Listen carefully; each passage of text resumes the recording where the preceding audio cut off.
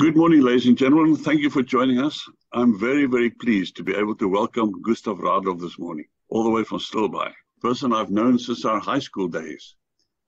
Gustav is really one of the most prominent and experienced property lawyers in the country. He's had a very eminent career, and he's had a lot of interaction, both, of course, in the private sector, but particularly on some of the legislation which is applicable today. He's a graduate from Pretoria University, He's had more than 41 years experience in the property and law conveyancing environment. He was actively involved in evolution of land registration and initiated representations to the government on various aspects, such as the ACTIC system. He's also a sportsman. He represented South Africa in the World Kayak Championships in Sweden in 1996 and in Canada in 2000, and was the South African Masters champion for five consecutive years. Gustav, thank you very much for your preparation and for spending this time with us this morning and to share your expertise. We're really looking forward to this. Thank you very much. Thank you, Gert, and good morning, everybody. Yes, land registration and land reform. I'm still fairly comfortable to enter into a discussion about land registration, as it is something that still works reasonably well. Land reform, however, is a different kettle of fish. It's loaded to the brim with emotion and political intrigue, and I wonder why I even attempt to make any sense of it. Now, as Gert mentioned, I've come a long way with land registration. Spent a lot of energy and time over a 35 year period as a member of the Deeds Registries Regulations Board to help ensure that the integrity of our land registration system is protected and maintained. One simply cannot overemphasize the importance of a sound land registration system. It is one of the key building blocks of any successful economy. Hernando de Soto, in his classic work, The Mystery of Capital, argues convincingly that no society can function properly without a land registration system that guarantees security of title. De Soto goes so far as to allege that a reliable land registration system is the single most important factor that distinguishes the countries of the first world from those of the so-called third world, was the, the jargon used today, developed countries as opposed to developing countries. So the single factor, according to De Soto, that all successful economies have in common is not necessarily an independent judiciary, a democratic dispensation, a free market system, capitalism, or a free press, but in fact a reliable and accurate land registration system.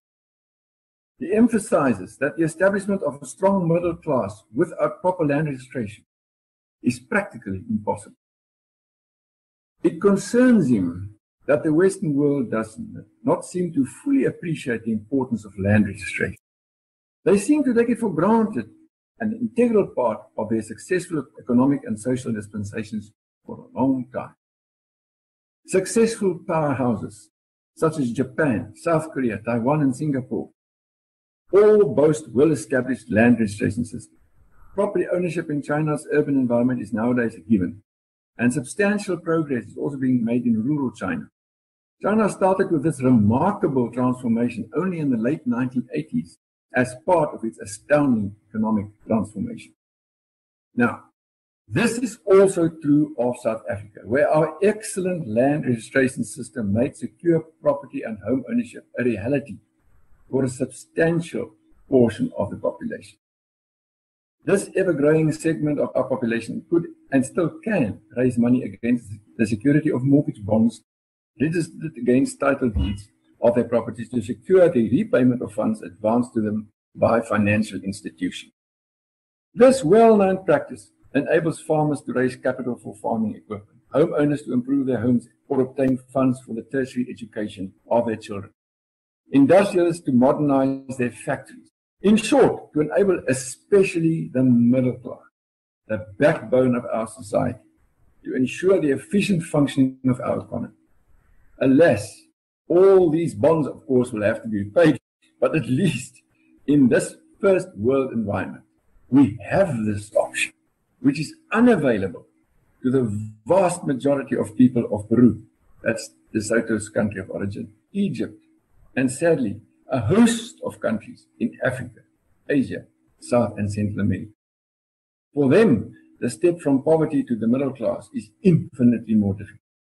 This was also the fate of the black people of South Africa for many, many years. But more about this later. In South Africa, like the United States, the state does not guarantee security of title. Here, security of title is dependent on the integrity of the role players involved in the maintenance of the system. In the United States, property owners are obliged to take out title insurance, an expensive exercise. Title insurance is not yet required in South Africa due to the efficiency of our land registration system. This can be attributed to two absolutely brilliant pieces of legislation, namely the Land Survey Act and the Deeds Registries Act. Two years before Hitler's panzers rolled into Poland, the Deeds Registries Act of 1937, Act 47 of 1937, saw the light of day. This act functions to this day with the efficiency and accuracy of an expensive Swiss watch. Sound legislation, however, only represents one side of the equation. Of equal importance is its proper and effective application. Four key players, two from the public sector and two from the private sector, carry this formidable responsibility. In the first place, land, whether it's intended for an erf in a town, a sectional title unit, a farm, or a small holding, must be identified and surveyed. This function is performed by land surveyors, that is the private sector. The diagrams of surveyed farms and the general plans of townships are lodged at the offices of the Surveyor General for scrutiny and approval.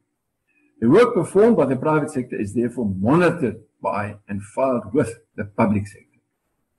A wonderful public-private partnership. Now, specialists known as conveyancers, being attorneys having passed a rather daunting exam relating to the intricacies of land registration, and duly admitted in the High Court as such, are responsible for the preparation of most deeds intended for registration, whether transfers or mortgage bonds. And other specialists, known as notaries, being attorneys having also passed yet another challenging exam and duly admitted as such in the High Court, are responsible for a different category of deeds intended for registration, such as servitudes and antenuptial contracts. Now, the work performed by these two categories of special attorneys is examined and registered in the offices of the various registrars of deeds. With the registration process, as with the surveying component, the work of the private sector is monitored and preserved by the public sector. These four key role players have functioned efficiently for many decades, and for this reason, we South Africans have very little cause at all to worry about the legal validity of our title. And yet, the warning lights are beginning to flash. The deeds registries appear to be in steady decline. The quality of the work done by the deeds examiners is deteriorating as there were too many hasty and even unwarranted promotions. There simply is no substitution for extended and dedicated experience. The legal profession anticipated this development and initiated legislation in terms of which the bulk of the responsibility for the correctness of deeds was shifted to conveyancers. I was nearly crucified for this development, but after extended trips throughout the country, we were able to convince our colleagues that for the sake of preserving the integrity of our system, we simply must accept and embrace more responsibility. Due to the slow decay of the deeds offices, the legal profession simply had to assume more responsibilities. The Black Lawyers Association is exerting ever more pressure for the abolition of the conveyancing examinations. They allege that the gatekeepers intentionally keep the exams as difficult as possible to thwart new candidates from joining the profession. Should this sad day ever emerge and incompetent practitioners be allowed to perform this important and challenging work, I'm afraid that yet another industry that functioned very well for many years may well be unable to engage. Many may eventually collapse. Our fate will then be to acquire expensive title insurance, failing which may well be unable to engage in property transactions or raise capital against the security of our title deeds. But I'm not that pessimistic. I'm actually quite optimistic. I think we will somehow manage to maintain our system by hook or by crook. Okay, that's the easy part. Now the difficult part, land reform. I'm going to refer extensively to the Motlanthe report. You all know Mr. Motlanthe. He was our third president for about eight months in 2008, 2009. He was also deputy president 6 to 2014. And this report, this Motlanthe report, was prepared on his auspices. They made very many conclusions with which I fully agree. The Motlanthe report encapsulates the essence of land reform very well.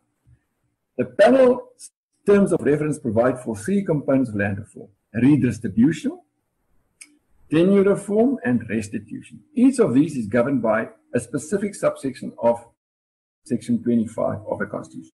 Remember, Section 25 is the famous or notorious property clause that guarantees our property rights.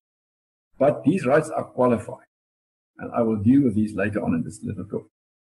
But now, let's go to subsection 5 of Section 25. This provides for equitable access to land, the distribution of both rural and urban land for those whose families were dispossessed prior to 1930 all the way back to Jan van Riebeeck. Subsection 6 of Section 25 provides for tenure security. Legal protection for those whose tenure is insecure because of past discrimination. For those who can show how they lost land through racially discriminatory laws and practices such as forced removals after 1930.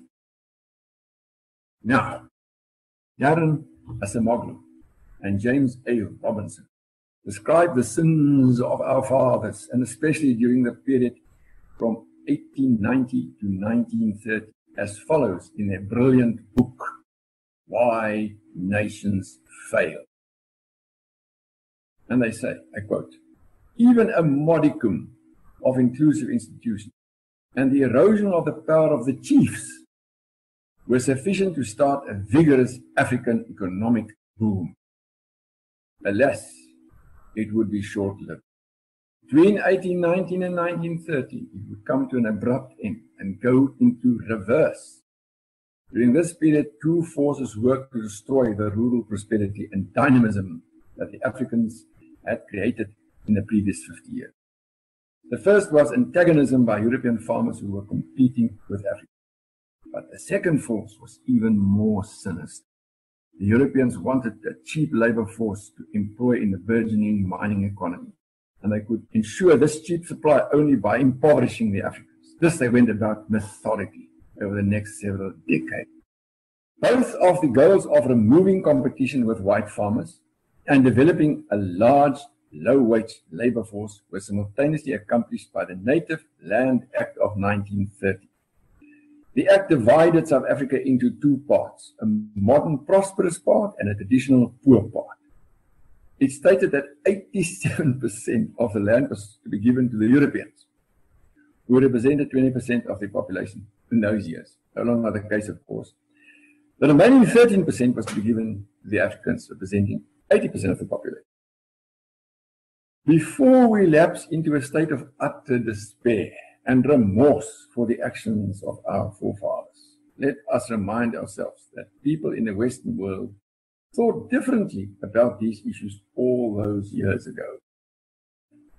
In 1919, well, that was 101 years ago, barely a century ago, the Privy Council of the United Kingdom which at the time acted as the High Court of Appeal for the entire British Empire, had the following to say about the indigenous people of Africa in a matter of In Re Southern Rhodesia Privy Council, 1990, AC 211. Now listen to this. Some tribes are so low in scale of social organization that their usages and conceptions of rights and duties are not to be reconciled with the institutions or the legal ideas of civilized society. Such a gulf cannot be bridged. It would be idle to impute to such people some shadow of rights known to our law, and then to transmute it into the sub sub substance of transferable rights of property as we know them. The feeling in South Africa in 1913 must have been very similar. Now, I may also add that I cannot resist the temptation to submit the following in mitigation. Statistics are like a bikini. What it reveals is interesting, what it conceals is vital.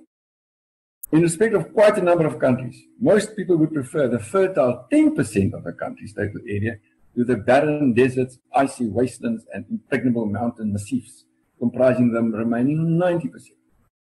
Egypt, Algeria, Canada, and Australia are good examples of such countries. It would, however, serve no purpose to make any attempt to justify the actions that led to the inequitable distribution of land in our country, as that would be an exercise in futility. Fact of the matter is that the 1913 legislation will haunt us for a long time to come. Now, in my view, the most successful land, land reform to date occurred in the old South Africa prior to 1994, thanks to the vision of the remarkable Dr. Gerrit Viljoen in the late 70s of the previous century. He realized that the inhabitants of South Africa's townships had to be given a form of tenure that will afford them a sense of security and permanence and will also enable them to borrow money against their properties to effect improvements, pay for their children's education, etc. He recognized, like De Soto, that the creation of an acceptable and viable form of land tenure for South Africans dispossessed was a prerequisite for the establishment of a black middle class. He introduced 99-year leasehold by way of a short but well-conceived amendment to the notorious Black Urban Areas Consolidation Act of 1945. Now, together with two of my Johannesburg colleagues, Bob Tucker and Stan Treisman, I was tasked to formulate regulations to give effect to this revolutionary piece of legislation. We performed this task in the course of a large number of consecutive Sundays in 1978. We based these important regulations on the principles of the Deeds Registries Act of 1936. And I insisted upon this approach with the support of my two colleagues. The regulations became operational early in 1979 with Soweto as the prime target. The competent, the competent officials are in Dr. Viljoen's department immediately arranged for the preparation of accurate cadastral general plans identifying tens of thousands of urban lots for a great number of black townships in conjunction and with the assistance of a host of professional land surveyors. Registration of leaseholds that initially commenced with a trickle soon turned into a torrent. And throughout the country, thousands upon thousands of black urban dwellers obtained 99-year leaseholds for their residences. In the Cape, Langa and Khayelitsha became part of the process in 1985. In 1991, again in terms of simple but well-conceived legislation, procedure was successfully established to convert all the leasehold properties to freehold, full ownership. One could observe on an annual basis how properties were being upgraded in townships such as Soweto, Mamelodi, and Atteridgeville. Proud new owners were now able to borrow money against their properties in order to effect improvements there. The middle class that came into being in this fashion nowadays seem to predominantly support opposition parties as they appear to become increasingly disillusioned with the ineptitude and corruption of the governing party.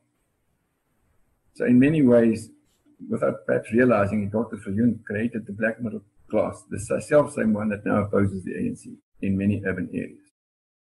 Now, the Motlanthe report sets out how the policy relating to land reform changed since the New South Africa came into being in 1990.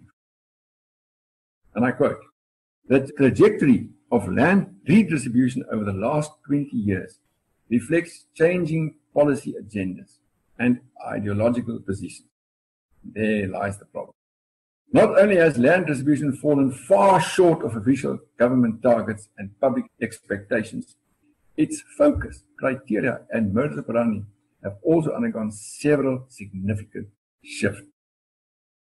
In 1994, the Reconstruction and Development Program, the so-called RDP, remember, proclaimed a goal of transferring ownership of some agricultural land in white commercial farming areas to poor black South Africa. The RDP target was to transfer 30% of this land within the next five years of the program.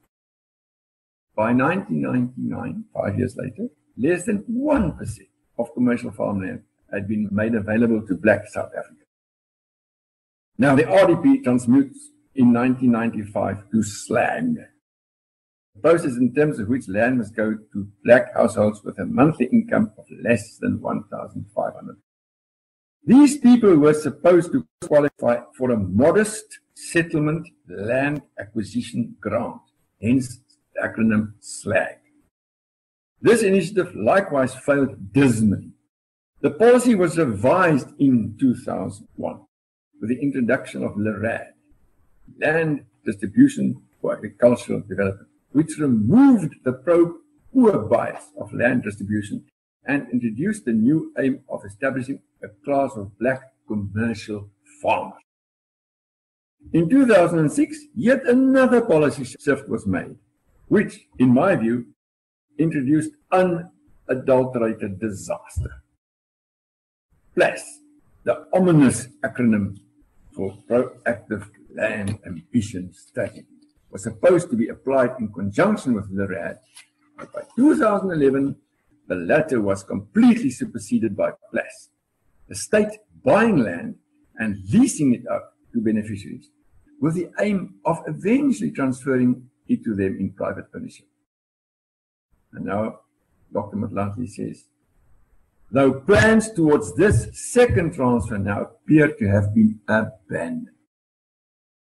The Minister of Rural Development and Land Reform, in fact, told us as recently as last month, no, verlede October, that it has now been decided to proceed with 30 year lease agreements. Last month. This is now the new one 30 year lease agreement. I asked. She claimed that these leases are capable of registration in our deed registries and can therefore serve as mortgage security for loans. All is therefore fine and well. What you failed to mention, apart from a host of technical difficulties, such as the preparation of leasehold diagrams by land surveyors and the notarial execution of such leases for registration purposes, is the fact that leases can be cancelled if these conditions are not complied with. Now, it's difficult to fight against the organized might of the state in the event of a dispute as to whether there has been a sufficient breach to warrant cancellation. Compare this now to the holding of land in terms of a title deed, such as a deed of transfer, which can only be cancelled by an order of the High Court. Financial institutions will always opt for the best security, which is title, as opposed to mere registered leases. Farms are developed and built over generations, and certainly not 30 year periods. The government seems to have seems to be obsessed with the idea of retaining power and ownership and control over the land acquired from mostly wine farmers. What further exacerbates the problem is the fact that a greater portion of the 8 million hectares transferred to date vests in trusts or so-called community property associations. The rights of the beneficiaries are not properly defined and effective control simply does not exist.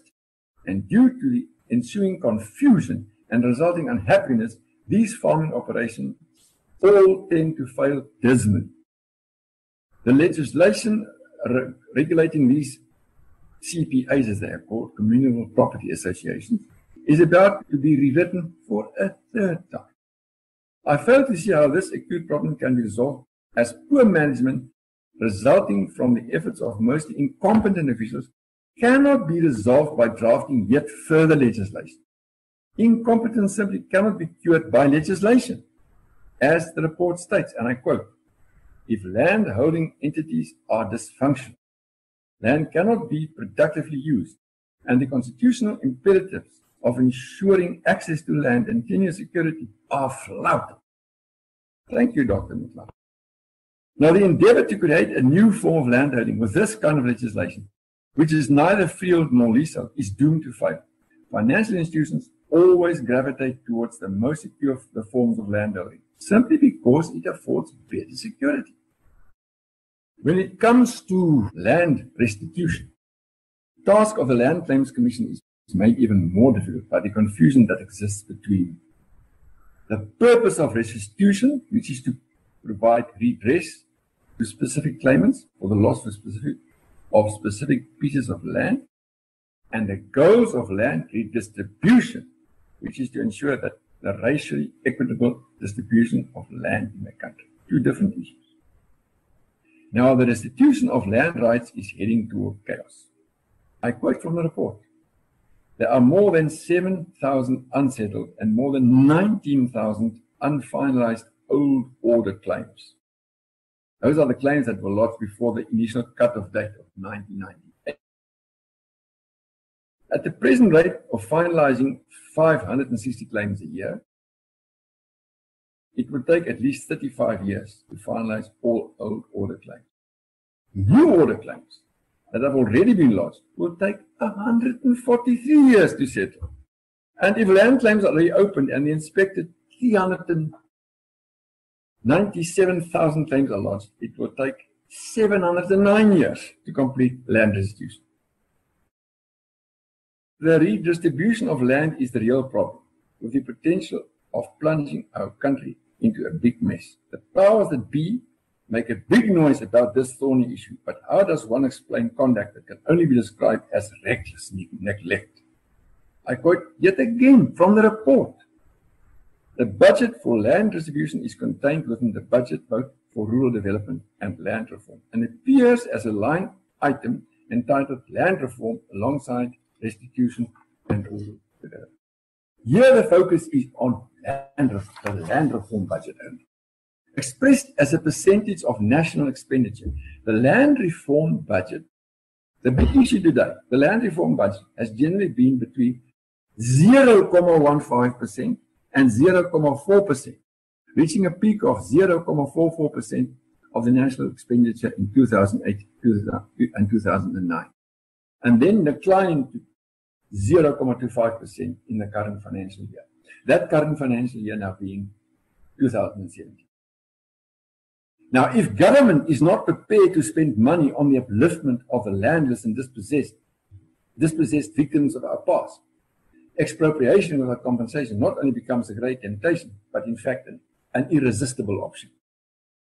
When President Cyril Ramaphosa delivered his State of the Nation address in Parliament on the 16th of February 2018, he said the following We are determined that expropriation without compensation should be implemented in a way that increases in agricultural production, improves food security, and ensure that the land is returned to those from whom it was taken during colonization and apartheid.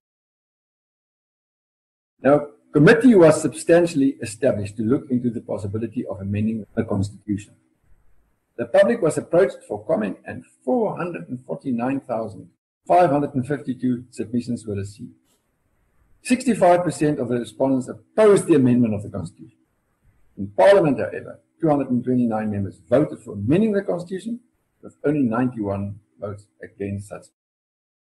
In my view, it is unnecessary to amend the Constitution because the criteria for determining the value of land for, for expropriation purposes clearly set out in subsection 3 of section 25 of the Constitution. The subsection reads, the amount of the compensation and the time and manner of payment must be just and equitable, reflecting an equitable balance between the public interest and the interest of those affected, having regard to all relevant circumstances, including the current use of the property, the history of the acquisition and use of the property, quality, the market value of the property, the extent of direct state investment and subsidy in the acquisition and beneficial capital improvement of the property, and the purpose of the expropriation. Now, this is quite a deviation from the old situation where market value was the only criteria. Market value being what a willing purchaser would pay to a willing seller in a free open market. But these criteria have never been tested in our courts, simply because the officials who were supposed to take the necessary initiatives to have these criteria properly tested are either too incompetent to do so, or even worse, simply too lax or unwilling to do so. Now, the consequences of an amendment to Section 25 of the Constitution to make expropriation without compensation for purposes of land reform even easier can be mitigated if the amendment makes it clear that such expropriation shall always be subject to the proviso that it is reasonable and justifiable in an open and democratic society, as envisaged in section 36.1 of the Constitution. Section 36.1 reads as follows. The rights in the Bill of Rights, like the property rights, may be limited only in terms of a law of general application to the extent that the limitation is reasonable and justifiable in an open and democratic society based on human dignity, equality and freedom, taking into account all the relevant factors. Permit me to give you just another example. We've got free speech, but that right is limited. Hate is forbidden. See what I'm okay? So the rights are there, but they must sometimes they can be curbed. These criteria are being met. The limitation is reasonable and justifiable. Now, the suggested amendment to Section 25 of the Constitution aims to allow for land expropriation without providing compensation. The amendment itself, itself is set out in a bill, the so-called Constitution 18th Amendment Bill, yet to be passed by Parliament, does not specify the circumstances when no compensation may be given. Instead, it states that a separate piece of national legislation must set out the specific circumstances where a court may determine that the amount of compensation is nil. The suggested subsection 25.3a consequently reads as follows. National legislation must set out specific circumstances where a court may determine that the amount of compensation is nil. Now, the national legislation proposed for this purpose is the new expropriation bill 2020, which was gazetted on last month, 9th of October 2020. The bill states that it may be just and equitable, equitable for no compensation to be paid where the land is expropriated in the public interest. In the following circumstances where the land is not being used and the owner's main purpose is not to develop the land or use it to generate income, but to benefit from an appreciation of its market value. I think one can live with that one. I must say, the South African Agricultural Union, they agree with most of these of these criteria. Where an organ of state holds that it is not using is not using it for its core function and is not reasonably likely to require the land for its future activities in that regard. Okay, fair enough. Next one. Where the owner has abandoned the land by failing to exercise control over it, notwithstanding registration of ownership in terms of the deeds. Okay, I can even live with that one. Next one, whether the market value of the land is equivalent to or less than the present value of direct state investment or subsidy in the acquisition of and beneficial capital improvement of the land. I like this one. I like this one. Um, a clear example, they expropriate an expensive farm for 50 million rand. They put tenants on it. They make a mess of it. They destroy the farm. And then the government says, look, you didn't pay for the farm in the first place. I'm not taking it back for one rand or no, uh, because it's worth it uh, that's when you expropriate without compensation, for sure. Okay, last one, where the nature or condition of the property poses a health, safety, or physical risk to persons or to other property. Now, I fully agree with the reasons furnished by the Motlanthe report for the dismal failure of the government's land reform initiatives. And now I'm going to quote again from the report. I like this.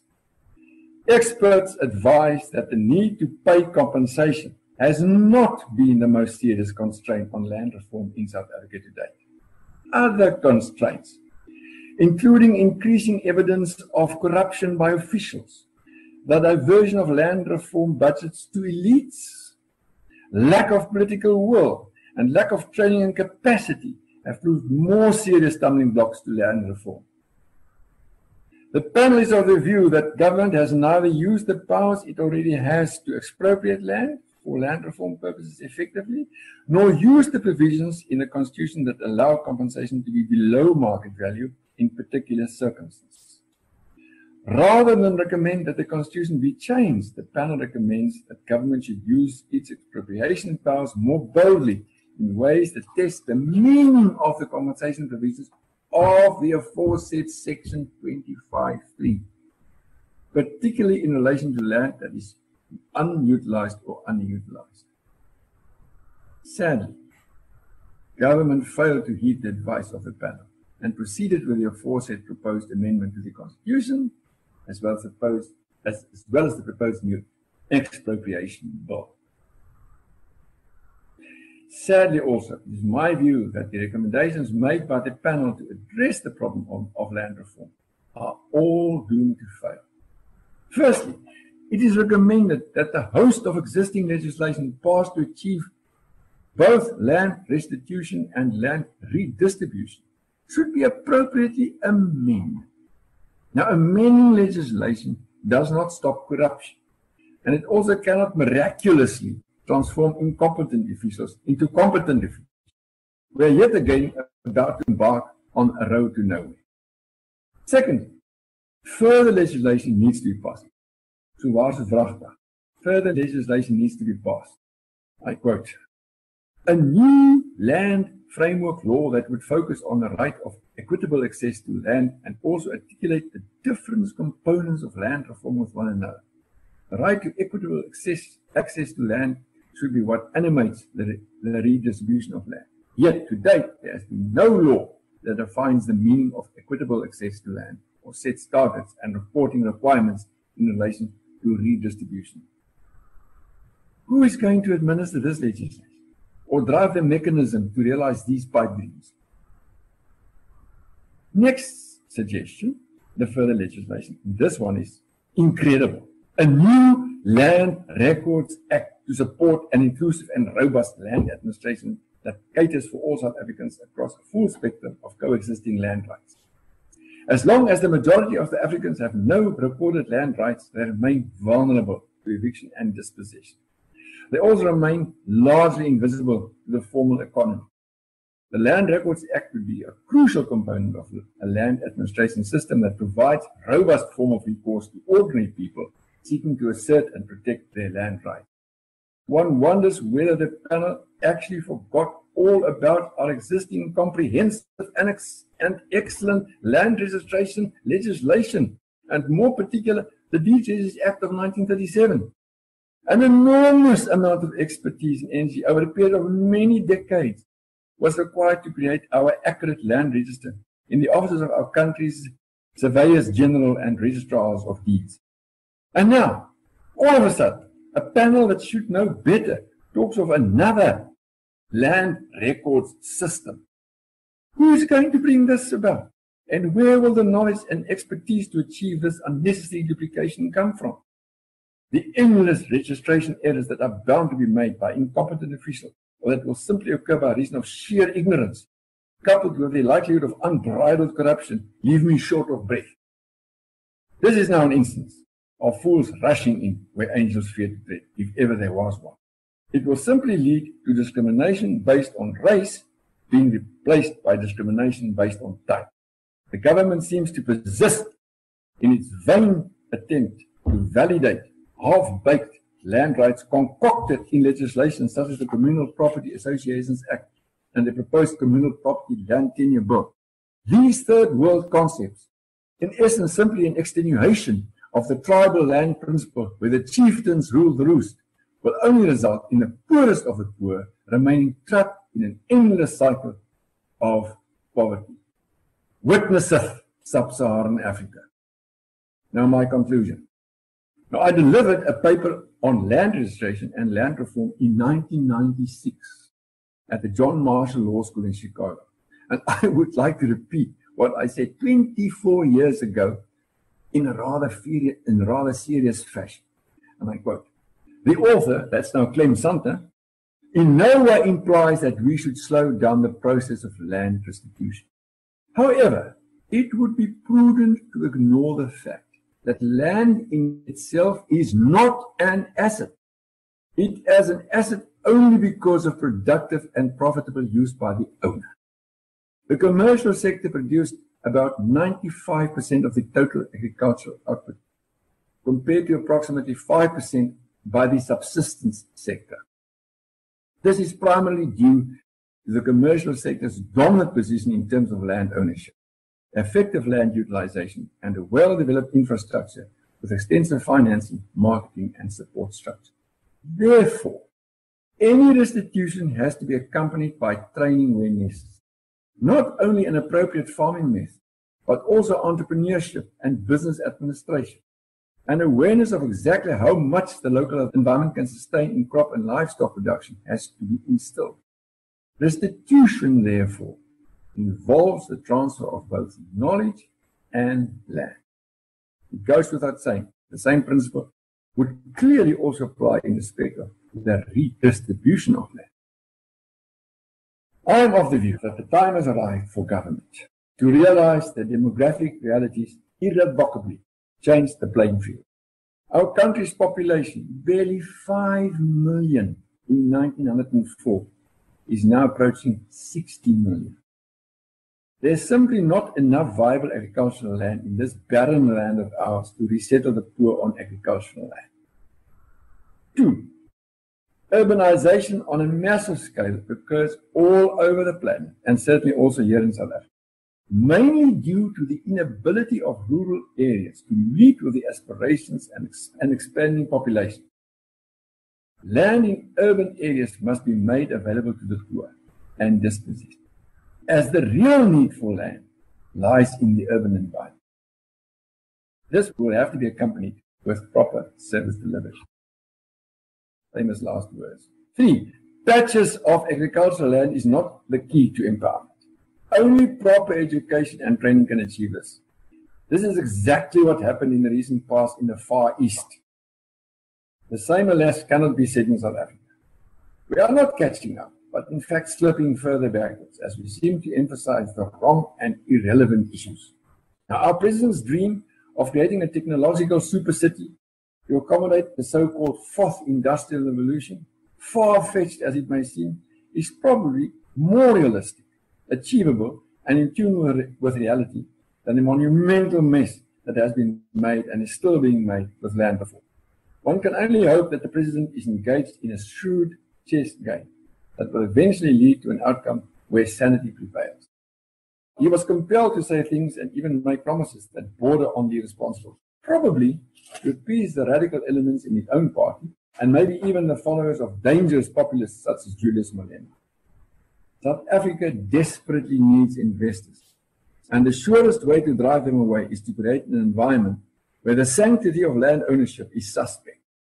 Even the perception that such may be the case may and probably will cause irreparable harm to our country. But I would like to end by saying what Jan Smuts always used to say. And therefore, I'm rather hopeful. In South Africa, the best never happens. But thank God, the worst also never happens. So we somehow seem to muddle through in the middle somewhere. And uh, may this be the case. Um, thank you. That's my story. Excellent, Gustav. Thank you very much. Unfortunately, a desperate and grim picture. Unfortunately, it's reality too. Anybody who wishes to ask a question, please open your microphone and you're free to ask Gustav questions.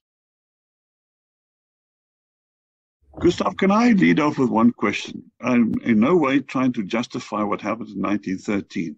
After 1913, various things have happened. For instance, the homelands, such as they were, were created and a lot of land was added to them. Many farms have been expropriated. Um, yeah. Certain massive, as you indicated yourself, massive land has been added to the urban areas. The, the so-called 13% subdivision, that is not applicable even today anymore. Do you can you guess what it is today? I would say it's closer to about 25% to 75, but I'm also guessing. Nobody wants to disclose that.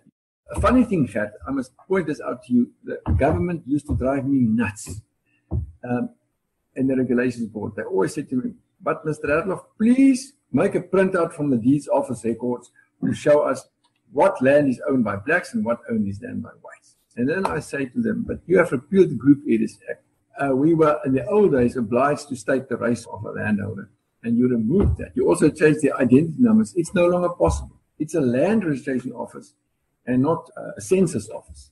And so we cannot tell you. And they were livid with us. You know, they said, and the problem is that so many entities are held in trusts and companies, and you don't know who, who the majority shareholders are. You may have a company with a with a white managing director, but the shareholders may be black. Well, then it's actually a black company. So when is a company black and when is a company white? And I used to tease them. I said, "Yeah, how do you determine ownership?" I married a black girl, so now is the land owned by and and, and we married, in community of property, and the land is registered in both our names. So is the land now half black and half white? What is the problem now? How are I going to deal with that? So yes, um, it's it's a difficult one, and I don't think they have got accurate figures. Certainly not. Otherwise, we would have heard that. But they make wild allegations, and they stick to this 13%, 87%, because that makes nice political noises. Suits, suits the agenda. Course, another aspect of 13%, there's a big difference between land owned in KwaZulu-Natal or Transkei versus Namaqualand. Well, that's the point I, made about the 10%, you know, when I said, you know, the bikini uh, where statistics are so dangerous because it, it, it, reveals a lot, but it conceals the essentials. I mean, like Canada, I would prefer the 10% along the American border. The icy wastelands up north, they can keep the tundra and Baffin Island. You know, I don't want that. Who wants the Australian outback? I'll just go for the, the east coast and uh, area around Perth and maybe Adelaide, and that's it. That's about five. Egypt, by the way, the Nile Delta and the Nile River is not even 5% of the country's. And the rest of the country is just desert, 95%. It's desert absolute desert. So if they ask me, I'll say, give me only 5% of Egypt, I want that 5%. So it's dangerous to play with percentages. Yes, I agree with you. There's a question from Robin Lee, which I'm going to read to you. Is it true that government already owns enough land to meet all reasonable claims for many years, so no action in respect of privately owned land is needed? I must confess that I don't know. I'm so glad you asked that question. It's such a good question. I'm convinced that the person like Mr. Cyril Ramaphosa is aware of the importance of commercial farms being maintained because food security is the absolute must for South Africa. If food prices were to rise, but aren't published, there'll be social unrest. So their, their best allies, brilliant, efficient farmers who are still able to produce food at cost effective. They're actually remarkable entrepreneurs in my book. I think the penny is beginning to drop.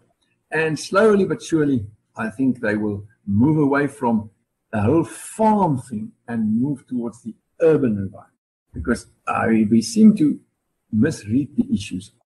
I responded on the green paper of land reform on the behalf of the South African Law Society. And I made the point there. I said, you can't take the people back to the land. This is a barren country. And in China, and I always quote China because the ANC is so in love with China. They hate America. And, and China is just everything that's wonderful. I said, look what's happening in China. Everybody is moving to the cities. We've got a shift from the rural areas to the urban areas like never before in history. And what's happening? The living standard is improving. Because in rural areas, eking out a living on a rice paddy is not, not going to help. And growing mielies on a little plot somewhere in KwaZulu-Natal is never going to make it. But a good job in a city, close to schools, close to medical facilities, that's what they want. They must start to realize what their people actually need. They need urban land that's accessible. That's what they need. They don't want to go and farm. South Africa is a terrible farming country. The more I think about this, I think that our commercial farmers can sleep soundly. It's suicide. It will be suicide. Anybody else? I will just say thank you very much. I grew up on a farm in Zimbabwe and I know it's much easier to farm there than in South Africa because of the weather and the soil and everything else. Of course, we had disastrous land reform there. But thank you very much. This is a huge problem that our country has to face. And it's very interesting to listen to someone who has been professionally and in a committed way engaged in trying to make a contribution. So all I can say is more strength to your arm and thank you for sharing your insights with us. Welcome. Anybody else? What progress has been made in the training of blacks for agriculture in the form of agricultural colleges? Or is there hardly anything going on? Again, I, can't profess to be an expert on, on that, but except to say, I worked in a firm that South African Agricultural Union was one of our clients. By osmosis, I got to know quite a lot. Hands on training. And I think we must commend our farmers in areas like the Free State. I know about that milk farm fiasco, but there are many farmers in the Free State that actually assist the black farmers and they work well together. And they are, make no mistake, successful commercial black farmers. And of course, they've got access to our universities now, agricultural departments in universities. And of course, there are the schools like Glen and, and all these agricultural schools. Obviously attend them.